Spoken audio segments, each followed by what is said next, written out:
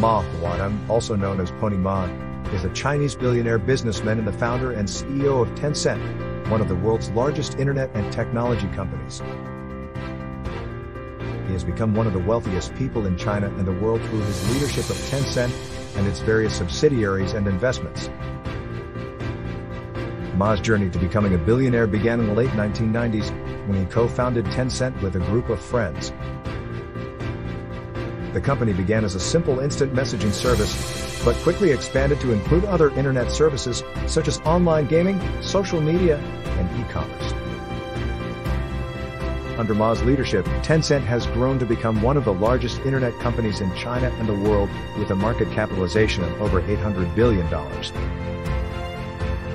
The company operates a number of popular services and platforms, including WeChat, the world's largest standalone mobile app by monthly active users, QQ, a popular instant messaging service, and Tencent Games, the world's largest online gaming platform by revenue.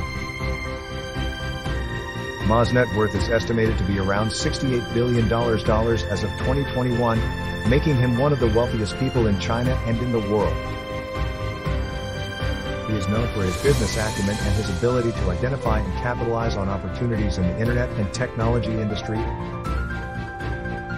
He also has a reputation for being a savvy investor and his company Tencent has made a number of strategic investments in other technology companies, such as in Tesla, Spotify, and Apple.